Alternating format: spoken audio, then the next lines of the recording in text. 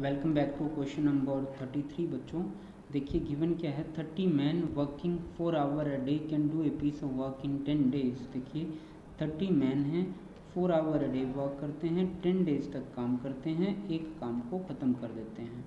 Next है find the number of days in which forty five man forty five man बच्चों days मैंने निकालने हैं working eight hour a day can do twice the work twice मतलब वो दो काम आप ख़त्म करेंगे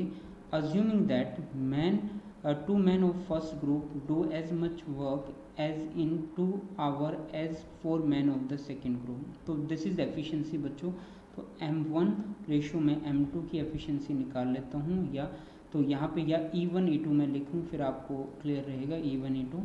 तो यहाँ पे क्या है, बच्चों देखिएगा,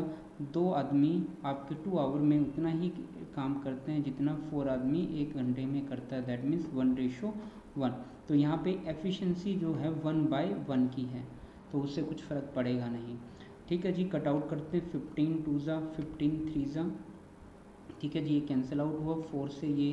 टू पे कैंसिल आउट हुआ टू से बच्चों ये कैंसिल आउट होगा। तो D will be equal to ये रहा ट्वेंटी और बच्चों this would be twenty and equal to three D D will be equal to twenty divide by three that is six two by three जो है बच्चों days रहेंगे, जो कि ऑप्शन नंबर मेरे पास सेकेंड वन बनता है।